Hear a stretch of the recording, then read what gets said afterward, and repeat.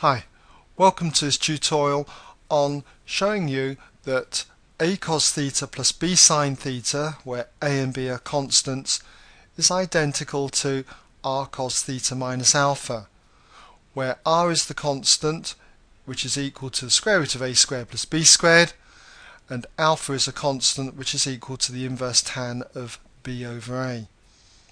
So, how do we go about proving this? Well, we start with the right hand side of the identity up here r cos of theta minus alpha and I'm going to show you that this is identical first of all to a cos theta plus b sine theta. So this is identical to r being multiplied by the expansion of cos of theta minus alpha. Now, don't fall into the trap that this is cosine theta minus cosine alpha. This is not a number, but a function. So it's got its own identity, one that you should already know.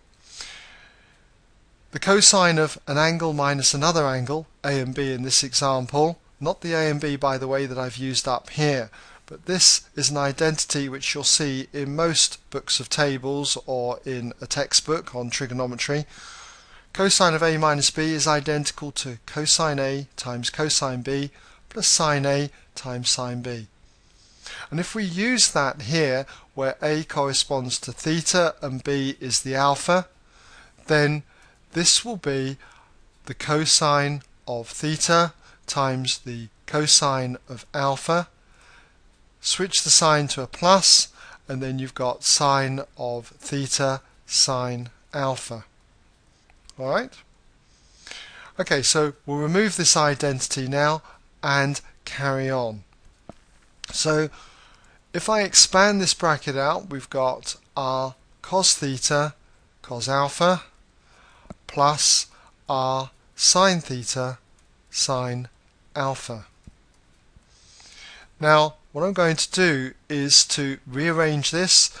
I'm going to write this as r cos alpha cos theta for the first term there and do the same here for this term. Rearrange it to be r sine alpha sine theta. Now why did I rearrange it? Well basically we know that r and alpha are constants. So that means that this term is a constant and this part of the term here is a constant. So I can write this as being identical to a constant, let's call it a, times cos theta, plus, okay, another constant, let's call it b, for r sine alpha, times the sine theta there. So can you see that I have got this expression up here? So I've been able to prove now the first part of this identity. What I need to do now is just show you that r is equal to square root of a squared plus b squared and alpha is the inverse tan of b over a.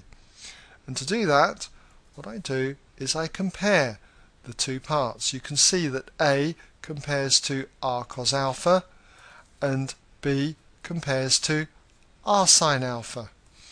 So let's just write that over here. We can say that where um, I'll start with this one r sine alpha equals b and we've also got r cos alpha is the a. And if I number these two equations, 1 and 2, I can solve them simultaneously. I can do equation 1 divided by equation 2. And what that's going to give me is r sine alpha over r cos alpha equals b divided by a. But if I had this over this, then the r's would cancel and leave me with sine alpha over cos alpha, which you should know is tan alpha. And so tan alpha would be equal to b divided by a. And if I inverse tan both sides, I get that alpha equals the inverse tan then of b over a. Now how am I going to get R? Well, it's usual to do 1 squared plus equation 2 squared. And what will that give us? Well, if I square the first equation, I get r squared sine squared alpha equals b squared. And if I square the other equation, number 2, I get r squared cos squared alpha equals a squared. So adding them together gives me r squared sine squared alpha plus r squared cos squared alpha equals b squared plus a squared. Now if I factorize the left hand side, we've got r squared out as a common factor, and we've got sine squared alpha plus cos squared alpha. And that would be equal to b squared plus a squared, or better still, writing it in alphabetical order because it looks better, a squared plus b squared. Now you should know the identity sine squared alpha plus cos squared alpha. Well, sine squared of any angle plus cos squared of any angle is always 1. So we can think of this as r squared times 1. In other words, r squared. r squared equals a squared plus b squared. And so to get r, I just need to square root both sides. So r is equal to the square root then of a squared plus b squared. So I've been able to prove to you that r is a squared plus b squared, all square rooted, and alpha was the inverse tan of b over a.